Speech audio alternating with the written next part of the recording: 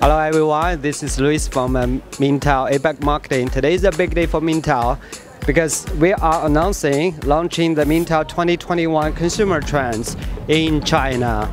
Uh, come with me and have a look. Uh, how do you feel about this? I think the big conversation is always the highlight of events for Mintel, and we're very pleased to launch the first client engagement big conversation after COVID. Uh, I believe it's one of the first uh, across Mintel globe, so really look forward to today's event.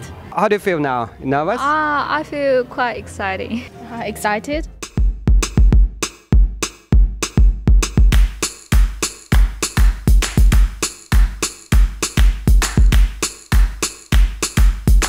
We hope uh, this is, will be a, a consistent uh, opportunity event for us in the future to uh, exchange ideas and to make the trend together.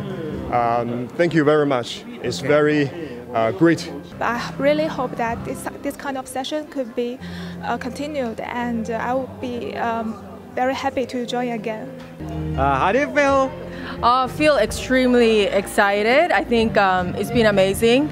Uh, I think today is a day that everybody can really feel proud of themselves, uh, thanks to the support from you know commercial, marketing, content uh, great teamwork. I'm so honored that I could be the facilitate with those you know big brands and teamwork such a great like platform to share more like insights in terms of our trends and consumers findings. So it's a really really um, I, I, think I would thank you for the whole marketing team to make today happen.